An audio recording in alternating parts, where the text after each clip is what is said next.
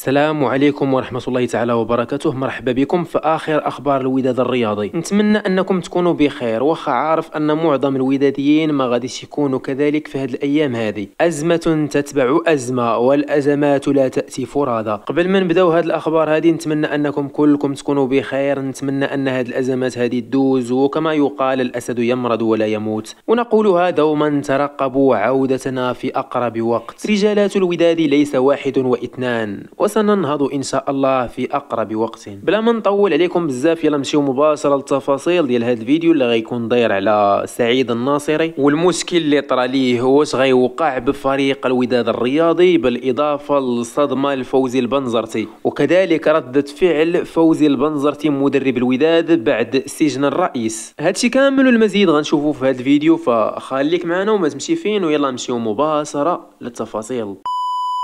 غادي نبداو بهذا الخبر هذا وهو تلقي الوداد الرياضي صدمة بخصوص فوزي البنزرتي. بحيث أن العصبة الاحترافية لكرة القدم علمات الوداد أنه ممنوع على فوزي البنزرتي الجلوس في دكة البدلاء المباريات القادمة لفريق الوداد الرياضي. وبالضبط ثلاثة المباريات بناء على قرار صادر ضده يعود لمواسم ماضية. البنزرتي كان تلقى عقوبة الإيقاف في موسم 2021 لستة المباريات استنزف منها ثلاثة المباريات من اللي رجع للراجا كمدرب وبهذا فالبنزرتي ما يقدرش أنه يكون في المباريات الجاية للوداد في البطولة ثلاثة المباريات. وهذا كيتزاد المشاكل اللي كتدور بفريق الوداد الرياضي في هذه الأيام هذه.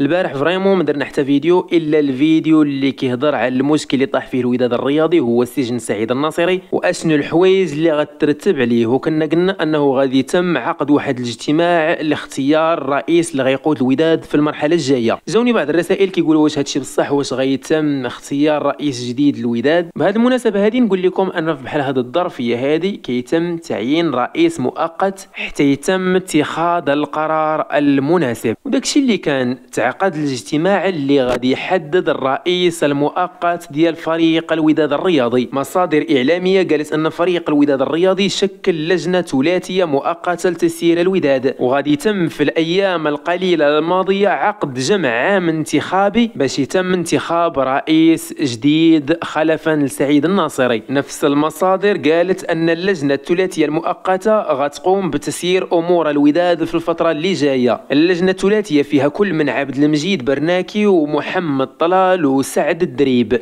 اللجنة غادي ترأسها عبد المجيد برناكي النائب الأول لسعيد الناصري. وغيبقى هو الرئيس المؤقت ديال فريق الوداد الرياضي بينما يتم الإعلان على رئيس جديد يخلف سعيد الناصري.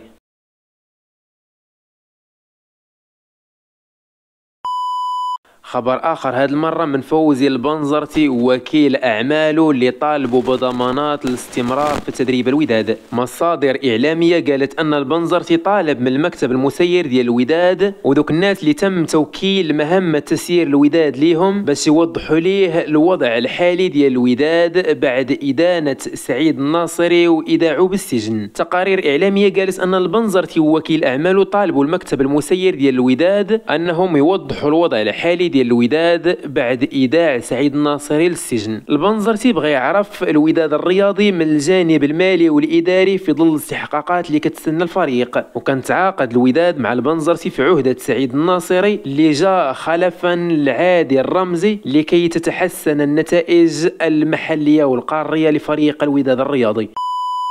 هذه هي معظم الأخبار اللي كتدور حول فريق الوداد الرياضي. مرة أخرى نتمنى خير إن شاء الله. ونتمنى هذه الأزمة هذه تدوز في أقرب وقت. فالفرق الكبيرة بجماهيرها لا تموت. كتنشرتها وكندافع عليها ونعاود نقولها. الوداد في هذه اللحظات تحتاج جمهورها أكثر من احتياجها لهم في لحظات الفوز بالألقاب. كونوا وداديين ودافعوا عن الوداد. لنجتمع معا. فنحن نعلم أن البقرة إذا ما سقطت بعد ذبحها. تكتر السكاكين. نتمنى خيرا إن شاء الله. أقولها مرة واثنان وثلاث. تعاليقكم وتفاعلكم في الصفحة الرسمية وعلى منشورات الوداد يكون إيجابي ولو لهذه الفترة. إذا كنتم غاضبون من الوداد فأنتم لستم وداديين. لأن الوداد هي جمهورها وهي مسيروها. ونحتاج الآن التلاحم أكثر من أي وقت مضى. نخليو القانون يجري مجراه وحنا نوقف وقفة رجل واحد مع فريقنا فالوداد أكبر من أي شخص. هادشي اللي كاين اليوم نعاود نقولها تهلاو فراسكم نتمنى خير للمرة الرابعة أعتقد.